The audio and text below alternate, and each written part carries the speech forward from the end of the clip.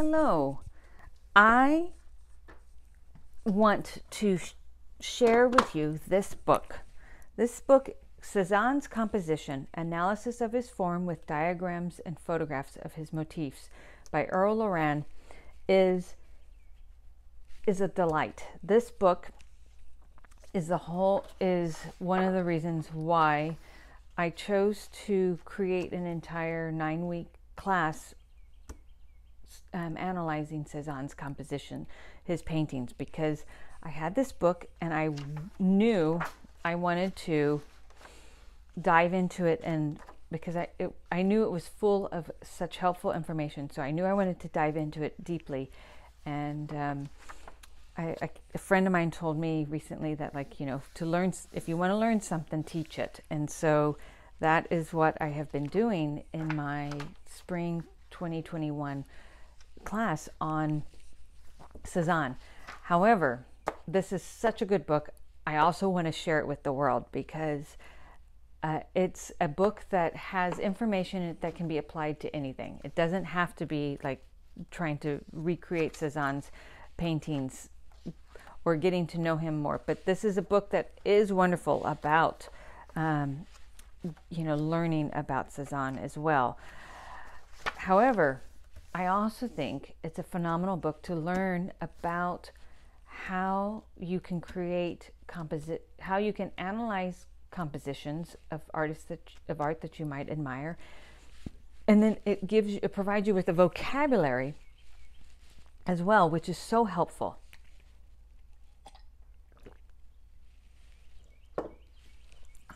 So, and it's like, and what's being an artist, I absolutely love that it's an illustrated glossary.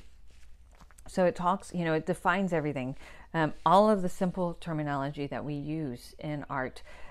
Uh, and when we're specifically talking about paint, like composition, painting composition, and the like your picture plane and your picture format, and then like negative space and that that idea of taking a three dimensional view and com- com- collapsing it into a two-dimensional illust- painting, and then of course then you've um, you have the you know the ideas of your negative shapes versus your positive shapes, and then this is this is the this is the coup de grace. I think this chap this pa- these um, next couple pages are exceptional in um, in in analyzing, you know, getting a good foundation in analyzing all art, be it, be it um, like Renaissance art versus like modernist art, um, and of course Cezanne's art, and it all, you know, it talks about the idea, you know, it, and it breaks it breaks your vocabulary down so we can talk about um, about composition in a way that is is has like these fundamental laws or these fundamental ideas. Our picture plane the idea of having a static plane on, you know, uh, the static planes, those are the planes that are um, that are parallel or orthogonal to your rectilinear picture format. And then you have a dynamic plane, which is a plane that the axes of that plane are diagonal, you know, therefore non-parallel to the picture plane's boundaries. And then how like you you automatically create three-dimensional space with this one dynamic plane and then two static planes. But then you actually create a little bit more action a little bit more movement a little bit more like dynamic tension in in your painting when you add another level of dyna- you you change this plane that was once static into a diagonal so it becomes a di- um, it becomes dynamic. And automatically it creates a deeper sense of field of um, a field of depth in this composition. But then abstractly, you don't have to create true visual depth like like in diagram 3. You can actually create a sense of visual depth and movement, but it's will can be perceived flat. Um, it's still going to be like flatter than like this diagram because you have a series of overlapping static planes and and you know that creates you know that creates visual depth as well and movement in your painting but it's you know it is the that that that the picture space, the space of of this um, that this diagram rec- represents is going to be a narrower um, visual space than than what this diagram is. And then, like another, the next chapter is, or the next diagram talks about the funnel effect, or that idea of one point, um, one point perspective. And then, like, you know, if you created a plane that connected there, then you'd have three dimensional volumes going back also in that, in that um, one point perspective. Um, Brunelleschi kind of codified our one point perspective in the Renaissance. Um, Another way you can create visual depth inside your picture plane is by depicting volumes, and by you know you you create vol you create you know when you create that that volume that automatically creates even more visual depth in your two-dimensional picture plane. Now, one thing that like Cezanne, you know, did not follow like true three-dimensional perspective he you know he would distort things. And so like for example even in this cube this cube is kind of distorted and doesn't follow the laws of perspective but it still gives you that sense of three-dimensionality. And then like you know how can you even create greater depth in your in your picture plane? And that is by the idea of stacking your volumes in space to create to create a true atmospheric depth in your picture plane. And then these two, these three large, like three dimensional arrows, those are arrows of showing that, you know, that circulation, the gesture, the movement of moving from foreground to way, way, way background and coming forward. And that how you can, and how three dimensional space is, is wonderful.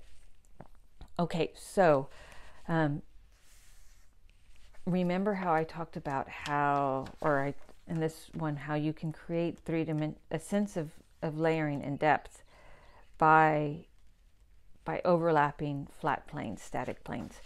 Well, in art, if you know, sometimes the goal with your painting on your you know in on your two-dimensional surface isn't so much to create that sense of visual depth, but you want to create visual interest for the eye. And that can be done too by two dimensional movement. The idea is you create an object that moves within that picture plane, but it's two dimensional. It does not recede and it does not come forward. And then, with that idea of two dimensional movement, then you can have a scenario where you are maximizing the idea of both two dimensional and three dimensional movement by combining them, where you have like the overlapping of static planes. But say one of those planes is irregular or it is two dimensional and it's moving counter to the the three dimensional movement of your of your diagram.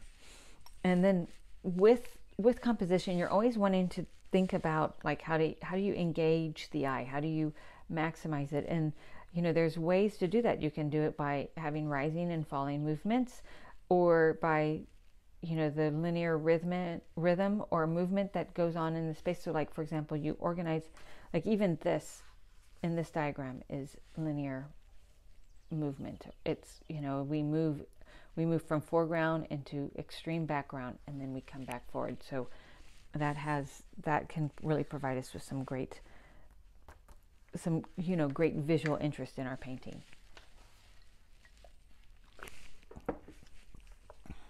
Now, when looking at at a painting, there's always um, you always want to be thinking about like creating a sense of balance and a sense of variety to create like a visual tension, and by understanding that volumes have axes, and those axes um, you know have some some visual strength to them. And that like regular um, volumes might have might can be balanced but irregular volumes also have axes and they too inherently will be organized within something that gives them an equilibrium. Um, in a painting like in like Cezanne's work you can also create a visual interest by heightening the tension between picture um, picture planes within the picture plane. And but then we can take if we want to create something that's three dimensional that feels even more three dimensional we can take this idea and apply it to the idea of the tension between three dimensional volumes within our two dimensional picture plane. And one of the things that I find fascinating is like this in this diagram here, we have the cylinder with circle with arrows around it. And that's giving the idea of what the negative space inside these three volumes and the feeling and what's the movement that those that that the, that object is giving.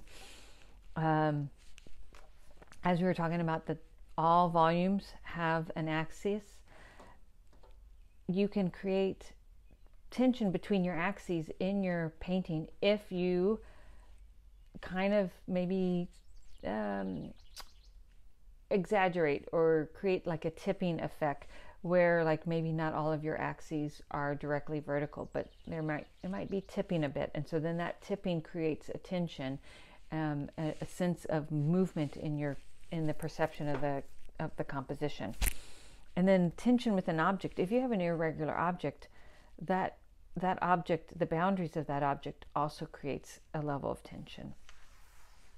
And then um, within a painting, you can have like light and dark patterns. They can either be closed or open. And so, like an example of like a closed one is that like the light is essentially pretty much enclosed by the dark, where versus where you have where the organization of your of your open and closed are, are um, is is not so um, is not so um,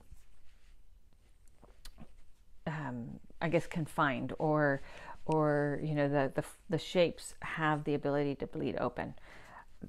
Like also now if you want to know how he painted and how he worked this is also an excellent book because it talks about um, it talks about his his methodology, how he organized his his work, and then what what drew me to this book and made me love this book so much is are there an is the analyses in this book. And for me as a still life artist it is the still life analysis. I absolutely love this book for how the author took a painting and then proceeded to analyze it in so many ways. Um, you know, this this one painting is given three wonderful pages and one, two, three, four, five, six, seven, eight, nine, nine um, graphical, you know, di- diagrams that are analyzing different principles of composition, which I I just love. I eat that stuff up. Um, but it's not just still life. In fact, actually, this book is predominantly a landscape book because Cezanne did paint more landscapes than than um, than um, still lifes. And one of the things that makes this book so f- wonderful is that um, Erle Loran lived in um, Provence for a while, and so he actually sleuthed out all of the motifs and took photographs of the motif of these of like Cezanne paintings, and then he being the wonderful um, art historian that he was, he then um, broke it down. You know, I mean, he analyzed um, and identified, you know, where things were shifted. You know what, um, what, you know, what did Cezanne do to actually heighten and improve the composition from the source, like the the artistic um, photo source. Um, this is like if you're a landscape artist and you enjoy Cezanne's work, I would say that this is a must read for you guys to to get this book and to to find it because it is just such an amazing book. They look at he he does look at some of his figurative pieces, but like I said, first and foremost, this is a landscape analysis book and with some still life analysis. And I, you know, really, guys, this is such a good book another still life analysis, I just I would just say go out and get it because it's a great one, and I'm sure um, even though it's all in black and white, it is an older book, so it's all in black and white, but it's so worth it. And yeah, so Cezanne's composition, analysis of his form with diagrams and photographs of his motifs by Erle Loran. Just an excellent, excellent book.